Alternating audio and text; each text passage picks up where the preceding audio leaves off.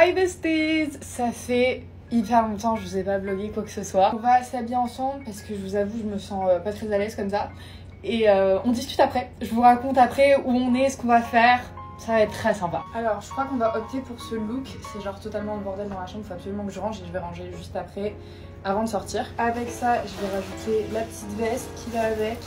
Je vous avoue, il fait genre hyper moche. Du coup, on va essayer d'être stylé, mais euh, genre euh, prête pour la pluie. Place aux accessoires. Euh, je sais pas si je mets cette paire de lunettes ou celle-ci. Celle-ci que je mets genre vraiment beaucoup trop souvent. Ou celle-ci pour changer parce que je les mets vraiment pas assez. Je pense que je vais partir sur celle-ci. Histoire de changer. Et voilà, on peut y aller.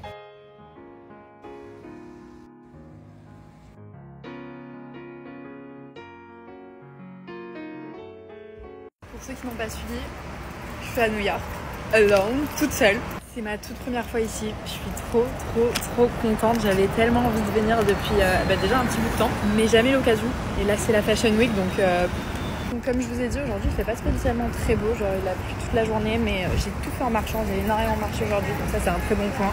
Même si je mange mal, je marche beaucoup. Là, tout de suite, je me dirige vers un musée. Euh, Il y a énormément de musées à New York, énormément de choses à visiter. J'aurai évidemment pas le temps de tout faire, mais ce sera l'occasion de revenir.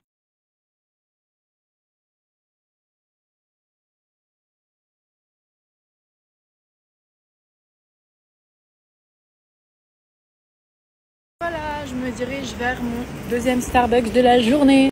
Et je suis déjà en retard pour, euh, pour le défilé de ce soir.